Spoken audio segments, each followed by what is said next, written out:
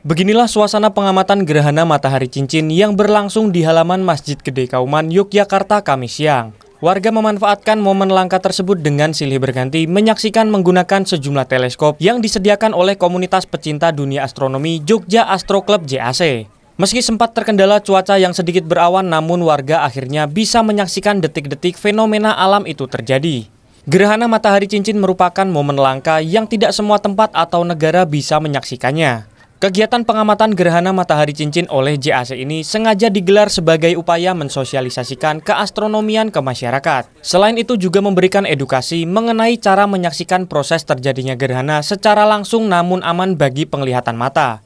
Di antaranya yakni menggunakan filler atau alat teleskop khusus astronomi pengamatan gerhana matahari sebagian letaknya nanti di alun-alun utara sisi barat ada lima teleskop kemudian ada kacamata matahari sama pinhole kemudian di pelataran e, Masjid Kauman itu nanti ada dua teleskop kemudian ada e, apa namanya ada solar viewer sama e, ada juga kita menyediakan pinhole di dalam sini di Yogyakarta, proses terjadinya gerhana matahari cincin ini dapat terlihat sekitar pukul 10 lewat 56 hingga 14 lewat 28 waktu setempat, di mana puncak gerhana terjadi sekitar pukul 12 lewat 47 waktu Indonesia Barat.